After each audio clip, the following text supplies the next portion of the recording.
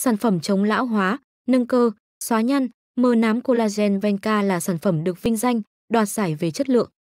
Collagen Venca dần trở thành sản phẩm tiên phong làn da trở lại cho mọi người. Mưa này, gió, bụi phần nào gây ảnh hưởng đến làn da và đã có một đợt thì Trang bị stress rất là nhiều tại vì làn da của mình bị ảnh hưởng nặng nề quá và đã quyết định bỏ ra một khoảng thời gian dài để nghiên cứu cũng như là tìm ra phương pháp để cứu chữa làn da. Và trong chương trình ngày hôm nay thì Trang sẽ chia sẻ đến quý vị và các bạn bí quyết làm đẹp làn da của Trang đến từ collagen. Khoảng 29 loại collagen khác nhau sẽ có trong tóc này, móng này, da này, giác mạc của chúng ta.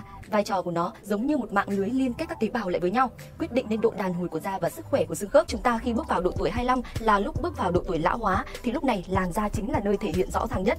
Cũng khá là dễ hiểu điều này bởi vì khi da của chúng ta tiếp xúc với ánh nắng mặt trời, tia tử ngoại sẽ hấp thụ làm cho da của chúng ta bị khô và trở nên nhạy cảm hơn. Thì lúc này cơ thể sẽ sản sinh ra các hắc tố melamin để hấp thụ và bảo vệ làn da khỏi các tia tử ngoại đó. Ở độ tuổi này thì những thực phẩm tự nhiên không còn đủ khả năng để cung cấp lượng collagen cần thiết cho cơ thể nữa mà chính là chúng ta phải tìm đến những sản phẩm chức năng có chứa hàm lượng collagen cao. Là sau một thời gian sử dụng thì sẽ cảm nhận được là cái tác dụng nâng cơ và xóa nhăn của trà collagen Venca những cái vết nám này này nó cũng đã mờ đi và cực kỳ tốt cho những người bị tiểu đường. Nhan kinh khủng luôn thế nhưng mà từ ngày dùng em này thì á da đẹp lên trông thấy luôn mọi người ạ. Và các vấn đề về tim mạch này cũng được cải thiện rõ ràng.